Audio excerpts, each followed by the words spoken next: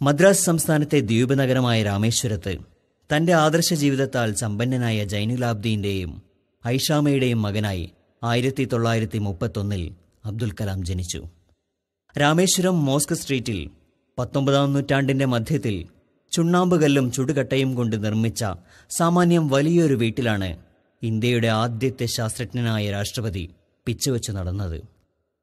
അടുക്കളയിൽ ഉമ്മയോടൊപ്പം നിലത്തിരുന്നുകൊണ്ട് വിരിച്ചിട്ട വാഴയിലയിൽ ചോറ് വിളമ്പി നാവിനെ കൊതിപ്പിക്കുന്ന സാമ്പാറും തീക്ഷ്ണഗന്ധമുള്ള അച്ചാറുകളും തേങ്ങാ ചമ്മന്തിയും രുചിയോടെ അദ്ദേഹം കഴിച്ചിരുന്നു.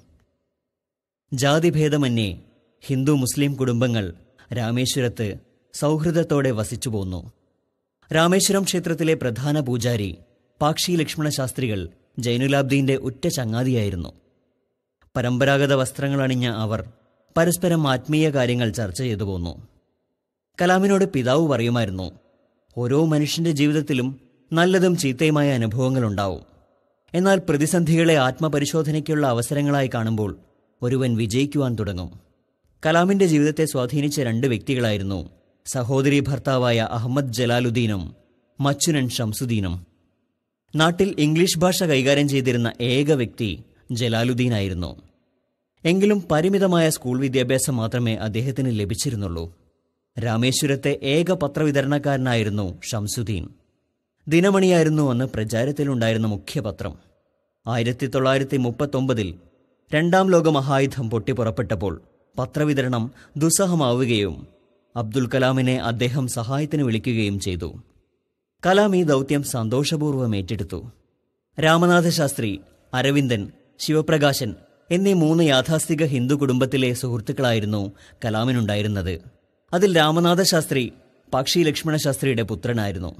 രാമേശ്വരം എലമെന്ററി സ്കൂളിൽ അഞ്ചാം ക്ലാസ്സിൽ പുതുതായി വന്ന അധ്യാപകന് പൂണൂലിട്ട രാമശാസ്ത്രിയുടെ അടുത്തിരുന്ന കലാമിനെ ഇഷ്ടപ്പെട്ടില്ല. അദ്ദേഹം അവനെ പുറകിലേക്ക് മാറ്റിയിരുത്തി. എന്നാൽ ഇതവർക്ക് സഹിക്കാവുന്നതിലും അപ്പുറമായിരുന്നു. അവർ വീട്ടിൽ വന്ന് കാര്യം അവതരിപ്പിച്ചു. കോപിഷ്ടനായ ലക്ഷ്മണശാസ്ത്രികൾ സ്കൂളിലേക്ക് വന്ന അധ്യാപകനെ കണ്ടു. മേലാൽ കുഞ്ഞുങ്ങളുടെ മനസ്സിലേക്ക് മതവേറി കുത്തിവെക്കരുതെന്ന് ശക്തമായി താക്കീത് ചെയ്യുകയും അവരോട് മാപ്പ് പറയണമെന്നും പറഞ്ഞു. ശാസ്ത്രാധ്യാപകനായ ശിവസുബ്രഹ്മണ്യ അയ്യരും പുരോഗമന ചിന്തകൾ വെച്ചു പുലർത്തിയിരുന്ന ആളായിരുന്നു. ഭാര്യയുടെ എതിർപ്പ് വകവയ്ക്കാതെ കലാമിനെ വീട്ടിൽ വിളിച്ചു വരുത്തി ഭക്ഷണം കൊടുക്കുവാൻ അദ്ദേഹം തയ്യാറായി. അബ്ദുൽ കലാം എന്ന മഹാചിന്തകനെ വാർത്തെടുക്കുന്നതിൽ രാമേശ്വരത്തെ പ്രതിഭാധനരായ ആളുകൾ എത്രത്തോളം ശ്രദ്ധ ചെലുത്തിയിരുന്നു എന്നും ഒരു സമൂഹം ഒരു വ്യക്തിയുടെ ജീവിതത്തിൽ ഏതെല്ലാം രീതിയിൽ ഇടപെടണമെന്നും നമ്മെ ബോധ്യപ്പെടുത്തിക്കൊണ്ടാണ് കലാം തന്റെ ജീവിതം എഴുതി തുടങ്ങുന്നത്. രണ്ടാം ലോകമഹായുദ്ധം അവസാനിച്ചു. ഇന്ത്യ സ്വാതന്ത്ര്യത്തിലേക്ക് കുതിക്കുകയാണെന്ന് ഗാന്ധിജിയുടെ പ്രഖ്യാപനമുണ്ടായി. കലാം രാമേശ്വരം വിട്ട് കേന്ദ്രനഗരമായ രാമനാഥപുരത്തെ ശ്വാസ് ഹൈസ്കൂളിൽ ചേർന്നു. പുത്രസ്നേഹത്താൽ കലാമിനെ പിരിയാൻ വയ്യാതെ വിഷമിച്ച ഉമ്മയോട് പിതാവ് ജൈനുലാബ്ദീൻ ഖലീൽ ജിബ്രാന്റെ ഒരു വാചകത്തിൽ മറുപടി കൊടുത്തു. നിന്റെ മക്കൾ നിന്റെ മക്കളല്ല.